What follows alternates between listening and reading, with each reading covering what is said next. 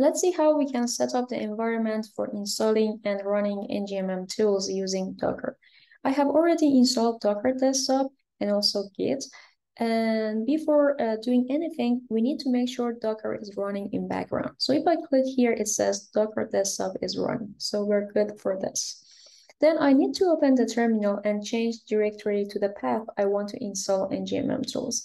For that, I can use cd and then, for example, I want to install it on my desktop. So I can say cd desktop and therefore that will be the path.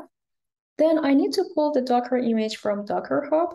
For that, you can go to the web page of the project. If you go down to the product section, there's a link for opening Docker Hub. So here, what you need to do is basically copying this Docker pull command and paste it here in terminal. It may take several minutes to pull the image, so I'm going to stop recording and come back when we are done with this step. Okay, so we are now um, we are done with uh, pulling the image, and if you go and check the Docker desktop, you will see that this image is listed here in this section. Then what we need to do is cloning the NGMM tools Docker repository. For that, uh, let's go back to uh, the web page for the project. Open this link. So if you go and scroll down, you see that there are there uh, there is a README file with instruction you need to know to install, run, and uh, do other things with NGMM tools. And basically, basically what I'm doing now is uh, showing you these uh, steps. So in order to clone the GitHub repository, you need to get um, this link or URL so let me copy that.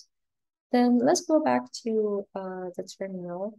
And what we need to do is type in git clone, that URL, and use the recursive option. So now we are cloning that repository to our computer. And again, it may take uh, several minutes to do so. So I'll come back when we are done with cloning.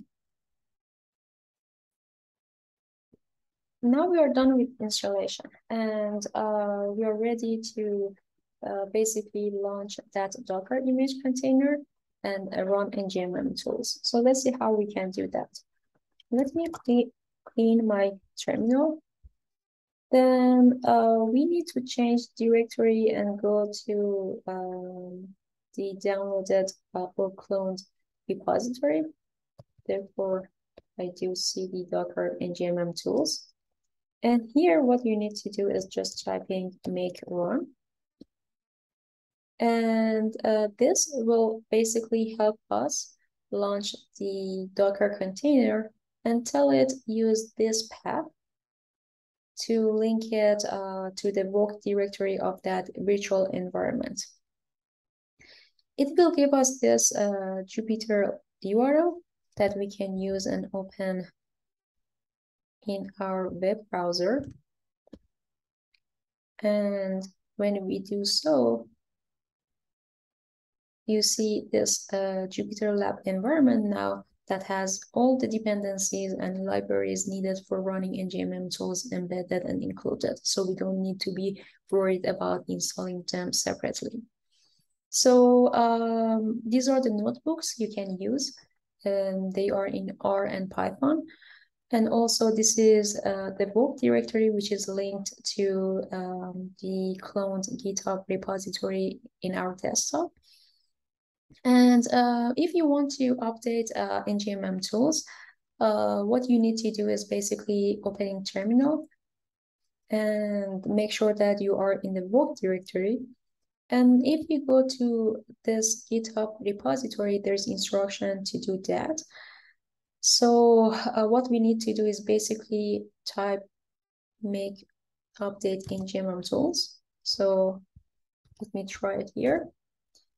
And with this, uh, if there is any update in the repository uh, after uh, building that Docker image in the Docker Hub, we can merge those updates here. Also, uh, we have prepared several example data sets, uh, so you can start using them and making yourself uh, more comfortable with NGMM tools.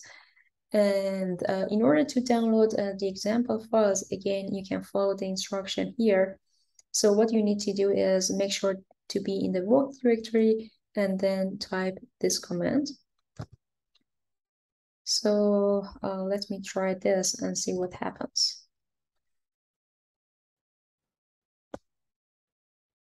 So now you see that uh, by typing uh, this command, uh, it tries to download uh, the example dataset available over Google Drive.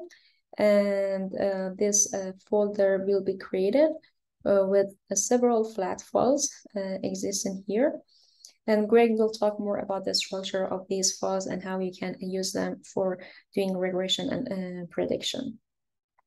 Uh, the size of the file is around 2 gigabytes, and therefore it may take some time to download and I'll come back when we're done with this. Okay, so now you see that the download is complete and we have uh, access to uh, these example files. Um, the other thing is that uh, when you are done running regression or using NGMM tools, it's always a good idea to stop the container and remove the image from your disk. In order to do that, uh, you can use the Docker desktop. So first we need to go to the containers tab and here we just need to stop.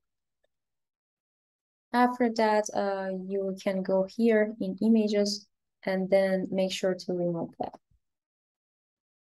So with this, uh, we can clean up the disk and make sure that we're not using any uh, space there.